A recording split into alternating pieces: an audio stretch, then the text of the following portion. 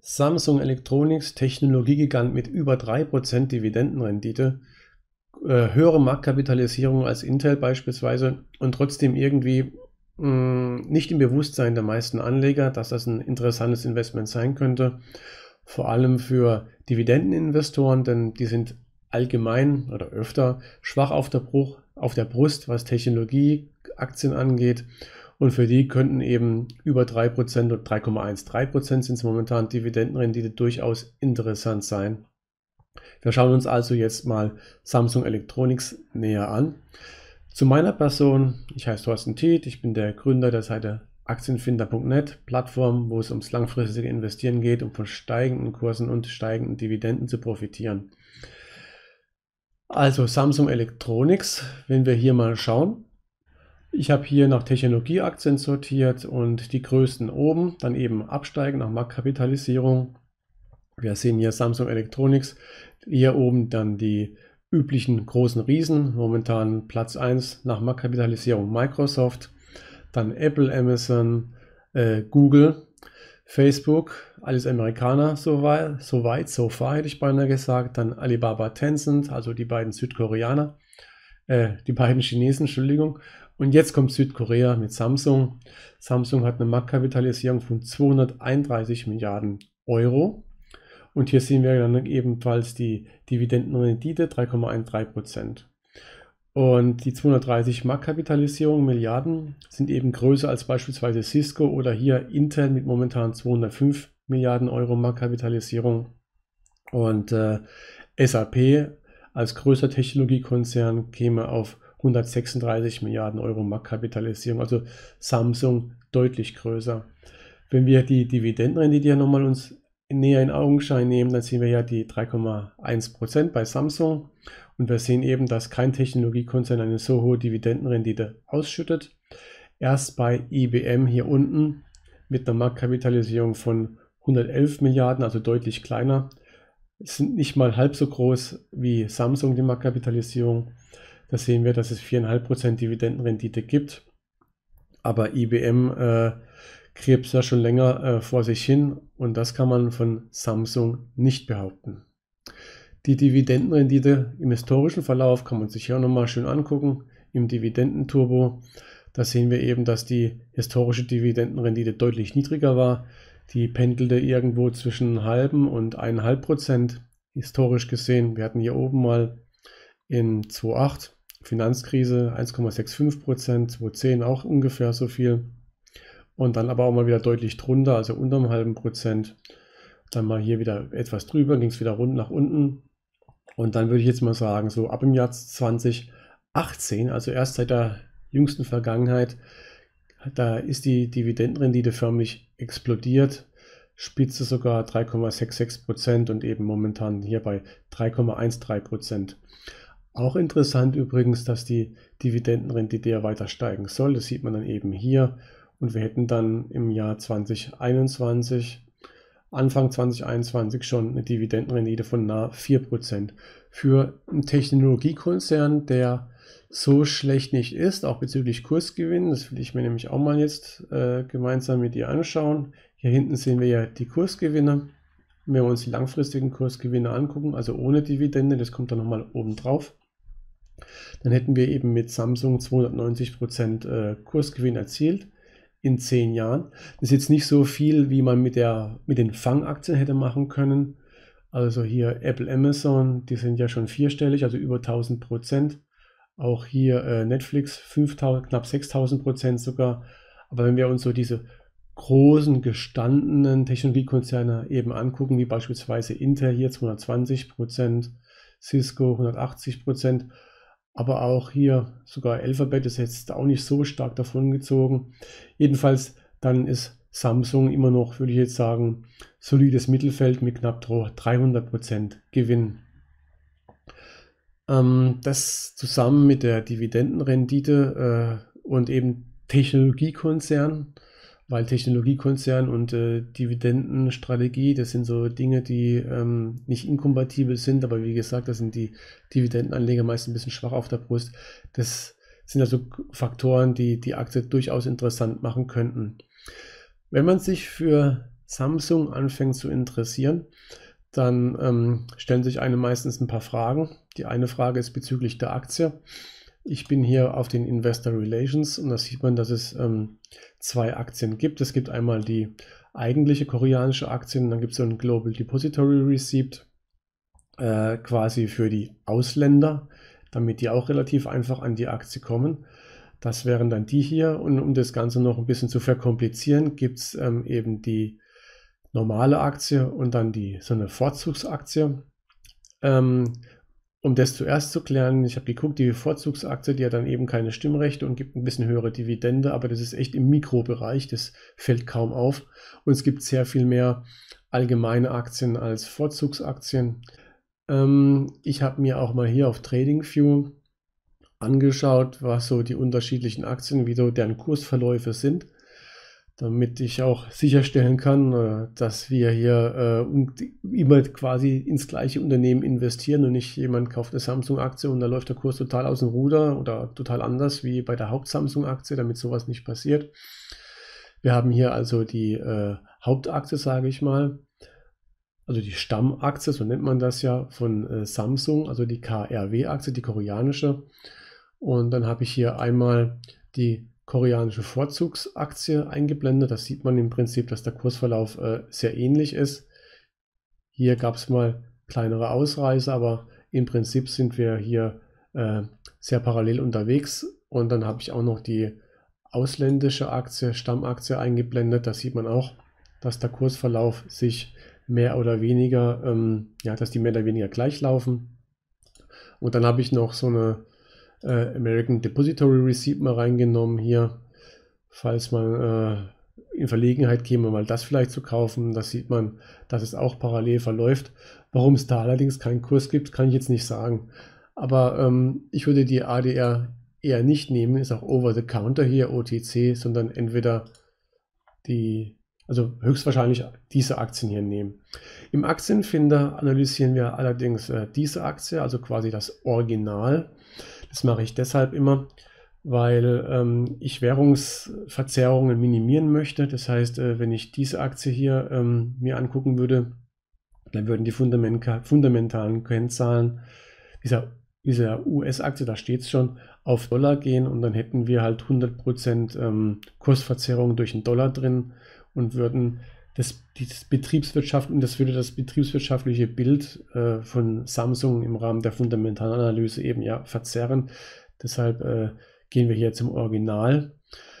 Das heißt aber auch, wir müssen uns dann mit dem koreanischen Won rumschlagen und zum koreanischer Won. Ähm, ja, da ist 1 Eurocent 13 Won wert.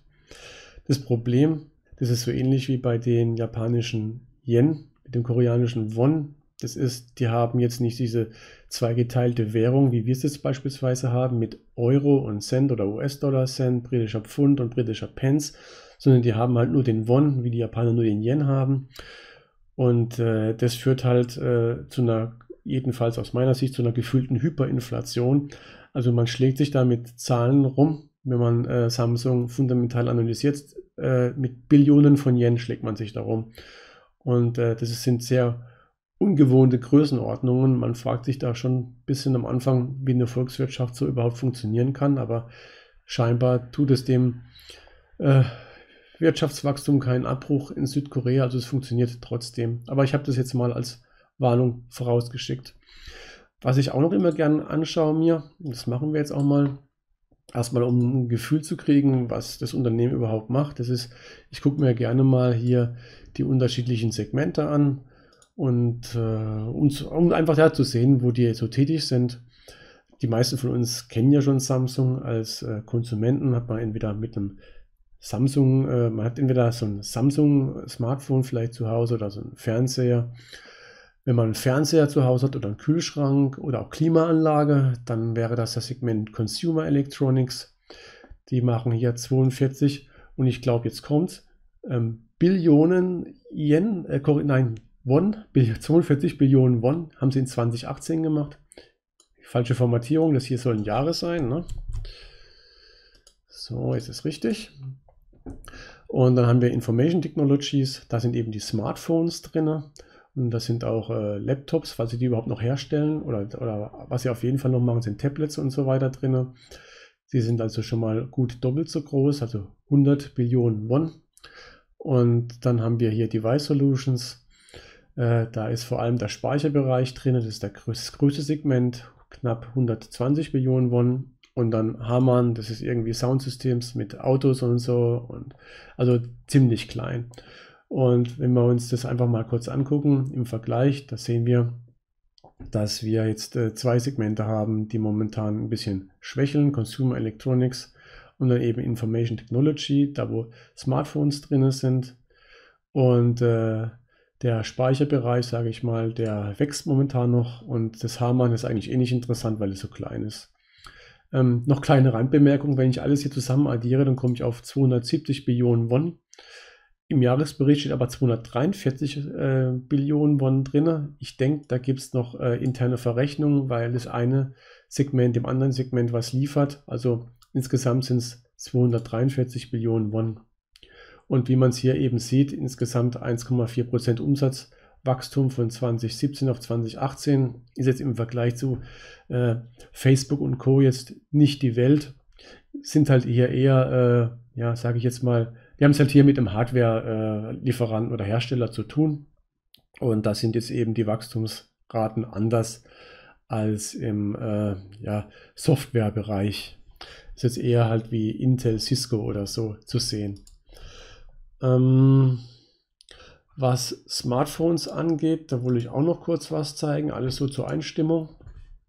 Äh, hier sind von Gartner die neuesten Zahlen. Das habe ich von golem.de mir mal äh, geholt. Und da sehen wir, dass der Smartphone-Bereich äh, allgemein eher schwächelt. Also wir haben hier mehr Minus stehen beim Wachstum Quartal zu Quartal. Wir haben hier auch eben Samsung mit 8% Minus momentan. Es gibt nur zwei Gewinner, Huawei und ähm, Vivo momentan, die viel gewonnen haben. Alle anderen ähm, Handyproduzenten haben verloren, also haben weniger Stückzahlen verkauft als vorher. Es geht hier um Stückzahlen und dann eben um den Marktanteil. Nichtsdestotrotz, äh, Samsung ist immer noch die Nummer 1 nach der Anzahl der verkauften Smartphones. Huawei äh, ist der Gewinner quasi des Quartals, nicht nur des Quartals. Und Huawei nimmt ja insbesondere hier Apple momentan äh, das, die Butter vom Brot. Apple hat um 30% weniger Smartphones verkauft. Habe ich auch ein Video gemacht, wo ich mich weit aus dem Fenster gelehnt habe und wie man gesehen hat, tun die 30% weniger äh, Smartphone-Abverkäufe dem Aktienkurs keinen Abbruch. So viel mal zur Einstimmung. Segmente haben wir gesehen und da würde ich sagen, gucken wir uns jetzt mal im Aktienfinder Samsung an. Und zwar am besten gleich in der Vollanalyse. Und da ändern wir mal das Layout und gehen einfach mal so ein bisschen die Charts durch und da kriegt man ein sehr gutes Gefühl äh, für die Aktie an sich, beziehungsweise für das Unternehmen. Wir sehen ja erstmal, dass wir Gewinnwachstum haben. Wir sehen, es geht auf und ab, so ein bisschen in Wellenform, aber äh, die Grobrichtung stimmt, also von links unten nach rechts oben. Was auch immer schön ist, das ist, wenn der operative Cashflow sich relativ gleich, also parallel ver verhält bzw. verläuft wie der Gewinn. Dann haben wir hier ähm, keine Bilanzierungsschweinereien wie bei Netflix beispielsweise oder auch keine ähm, außergewöhnlichen Geschäftsvorfälle wie jetzt ähm, beispielsweise irgendwelche Klagen, dass man irgendwelche oder, oder, oder große Rückstellungen oder sonstige Dinge. Also hier verläuft das alles sehr schön. Wir machen mal kurz Outlook zu.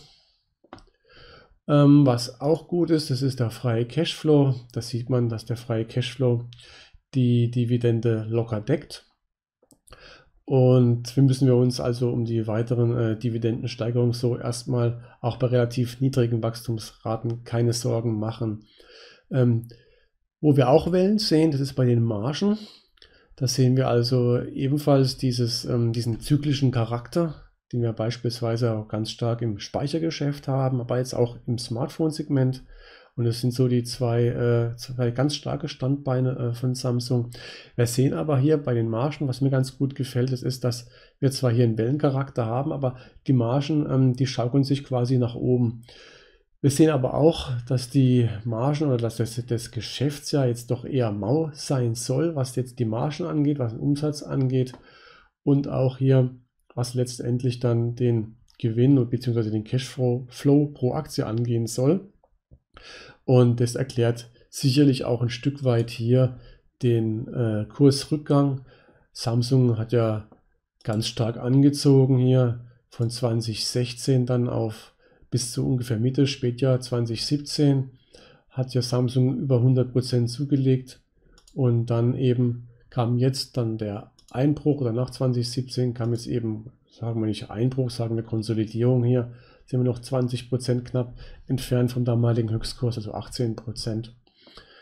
Und das hat sicherlich etwas mit den getrübten Aussichten hier zu tun. Äh, wir sehen aber dann auch, dass es dann wieder, wenn auch äh, jetzt nicht auf Facebook-Niveau, aber dass wir dann dennoch dann wieder der Gewinn, Umsatz und so weiter anziehen soll und die Margen dann wenigstens stabil bleiben sollen. Was wir hier sehen, das ist die finanzielle Stärke von Samsung, was erstmal nicht schlecht ist. Das ist, dass es hier wenig Goodwill gibt. Also es gibt äh, Goodwill, aber der Goodwill geht total unter im Rest der Bilanz. Wenn wir noch das Kernvermögen und die Cashbestände hinzuzählen, dann sieht man den kaum noch. Von da ist also, sind also keine außerordentlichen Abschreibungen zu erwarten. Wenn wir uns mal die Schulden angucken, hier dazu einblenden, dann sehen wir eben, dass die Schulden noch relativ niedrig sind. Also das hier ist im Prinzip das Vermögen, der enge Balken von Samsung und dann hier haben wir hier eben diesen roten großen Balken. Das ist quasi der Teil des Vermögens, der äh, schuldenfinanziert ist und der ganze Rest ist quasi Eigenkapital finanziert. Was auch interessant ist, Treasury Stocks, äh, es gibt zwar Aktienrückkäufe, aber die werden wohl sofort vernichtet, weil da werden keine Treasury Stocks ausgewiesen. Und was auch interessant ist, das ist, wenn wir die Schulden uns angucken in Bezug zur Tilgungskraft, also Tilgungskraft ist quasi der Free Cashflow abzüglich Dividenden. Das heißt wirklich das, was ähm, an Geld ins Unternehmen reinkommt und nicht wieder ausgeschüttet wird. Das nenne ich Tilgungskraft, also das gibt es so nur im Aktienfinder, selbst ausgedacht. Und wenn man das kann man jetzt in ähm, Bezug stellen zu den gesamten Schulden des Unternehmens und kriegt dann eben so eine Vorstellung, wie gut das Unternehmen oder wie gut Samsung seine Schulden äh, abbezahlen könnte. Und das sieht man, da sieht man erstmal, dass es riesige Zahlen sind. Diese Ones, die sind äh, unglaublich groß. Ich versuche jetzt gar nicht hier äh, zu sagen, was für eine Zahl da jetzt eigentlich rauskommt. Also wir haben 91 Millionen Millionen koreanische Won Schulden. Und wir haben aber das Wichtige ist jetzt nicht, sind jetzt nicht die absoluten Zahlen, sondern die Relation. Wir haben also ein, äh, eine Tilgungskraft. Ich nenne jetzt einfach nur die, die äh, Millionenzahlen. Naja, eigentlich sind es hier Milliarden von 26 Milliarden Millionen koreanischen Won und Schulden von 91. Also werden die Schulden in ungefähr vier Jahren getilgt. Also äh, jetzt mal grafisch ausgesprochen, wäre, ist, ist die, sind diese Schulden, dieser Schuldenbalken viermal höher als der Balken der Tilgungskraft. Und hier sieht man auch nochmal dann den freien Cashflow abzüglich Dividenden. Das gibt eben die Tilgungskraft. Und das eben, obwohl wir momentan eher so in der Stagnationsphase sind. Das zeigt einfach, dass wir hier mit Samsung ein sehr solides Unternehmen haben und die sind, äh, also man muss nicht Angst haben, dass Samsung pleite geht. Was wir hier sehen, das ist, ähm, wie viel Spaß Samsung in der Vergangenheit äh, Aktionären bereitet hat. Wir sehen eben, dass, dass, es schlechte Jahre gibt und wir sehen, dass es gute Jahre gibt. Wir sehen, dass die grünen Balken höher sind als die roten. Das heißt, äh, es gibt die guten Jahre machen mehr Spaß als die schlechten Jahre Trauer verursachen. Wir sehen aber auch jetzt, dass im Jahr 2018 wir eben 25% äh, Verlust erlitten hatten. Das war also kein Spaßjahr, das war das schlechteste Jahr überhaupt seit 2005, was Kursverluste angeht. Hat aber natürlich damit zu tun, dass die Aktie hier ein bisschen stark angezogen ist. In 2016 und 2017 jeweils über 40% äh, an Kursgewinn erzielt. In 2018, also in 2019 jetzt, also im laufenden Jahr, haben wir dann wieder hier 17% Kursgewinne erzielt. Wenn wir uns dann nochmal hier die kumulierten Dividenden angucken, dann sehen wir auch hier schön die nach oben gekrümmte Kurve, das was für äh, dynamisches Dividendenwachstum spricht. Auch nicht verkehrt. Da kommen wir dann zur Bewertung. Hier haben wir wieder die Dividendenrendite mit den 3,13%, aber das haben wir im Dividendenturbo schon etwas schöner gesehen, weil wir es dann nach Monaten haben. Da sieht man es dann etwas deutlicher. Aber hier gucken wir uns die Bewertung an und da sieht man, und das macht es vielleicht auch noch ganz interessant, eben sehr niedrige KGVs und KCVs. Ähm, wir vergleichen hier immer nur Samsung mit sich selbst. So, da habe ich auch vor kurzem ein Video zu gedreht. Ich denke, das ist die Verwendung des KGVs oder KCVs, die ähm, am sichersten ist, wenn man das gleiche Unternehmen mit sich selbst vergleicht und nur quasi hier auf unterschiedlichen Zeitebenen agiert. Weil wir sehen ja auch hier ähm, Samsung gerade als ähm, nicht äh, Softwareunternehmen, sondern als Hardwarelieferant. Da bleibt Samsung Samsung und verändert seinen Charakter jetzt nicht äh, relativ stark innerhalb einer kurzen Zeit. Das heißt, man kann hier schon relativ gut äh, mit diesen historischen Multiples arbeiten. Ich möchte mal hier die höchsten KGVs nehmen. Die waren früher, da war das KGV ungefähr bei 12, manchmal bei 15, aber 12 ist im historischen Vergleich schon hoch gewesen. Hier war es mal 10 in 2015. Und ein historisches Tief hatten wir jetzt eben am Ende des Jahres gehabt, nachdem wir hier diesen starken Kursverlust hatten. Äh, wo war er? Hier, äh, jährliche Kursgewinne. Also hier, dann, also nachdem wir diesen starken Kursverlust hatten, kamen wir dann auf ein KGV von nur 7. Momentan haben wir eben jetzt wieder ein KGV von knapp 9. Sind aber und sind leicht über dem historischen Mittel damit, sogar also über dem 10-Jahres-Mittel, da war es 8,5 und jetzt 8,7. Und bezüglich den, dem operativen Cashflow sind wir jetzt genau mit 4,6 im historischen Mittel, beziehungsweise im 10-Jahres-Mittel drin. Also wir können jetzt schon mal mehr oder weniger sagen, dass die Aktie fair bewertet ist. Hier unten haben wir dann auch die fairen Werte. Den Fair Value Dividende können wir nicht nehmen, weil die Dividendenrendite eben relativ stark angezogen ist in den letzten ähm, Jahren. Das sieht man ja äh, sehr leicht hier. Die Dividendenrendite ist, äh, die Dividende ist sehr stark angezogen. Das treibt natürlich den Fair Value Dividende nach oben, ist dann aber nicht mehr aussagekräftig, deshalb machen wir den weg. Und dann sehen wir hier eben noch den operativen Cashflow und den Gewinn sehen hier, dass die Aktie historisch betrachtet ab und zu über und ab und zu unterbewertet war. Jetzt möchte ich mal den Tooltip hier wegkriegen, damit man das schöner sieht, aber der macht mir jetzt die, die Freude nicht. So, mal über, mal unterbewertet. Und äh, ich würde jetzt hier den fairen Wert nehmen, hier für das Geschäftsjahr 2019. Und zwar, um eher ein bisschen vorsichtig, vorsichtig zu agieren, weil wir ja sehen, dass hier wir erstmal mit rückläufigen Gewinnen zu rechnen haben. Deshalb würde ich nicht den fairen Wert nehmen, der auf höheren Gewinnen und Cashflows basiert, sondern lieber einen fairen Wert, der ermittelt wird auf Basis niedriger Gewinne und Cashflows. Dann sind wir schon mal eher auf der sicheren Seite. Und da hätten wir eben faire Werte, die dem aktuellen Aktienkurs sehr, sehr nahe kommen. Und das heißt eben aus meiner Perspektive, dass die Aktie fair bewertet scheint. Wir haben dann eben leicht anziehende Gewinne, prognostiziert jedenfalls, sodass dann die Aktie leicht in Unterbewertung reinkäme. Dadurch, dass die Bäume aber hier nicht in den Himmel wachsen, ähm, würde ich jetzt einmal nicht mit äh, horrenden Kursgewinnen rechnen.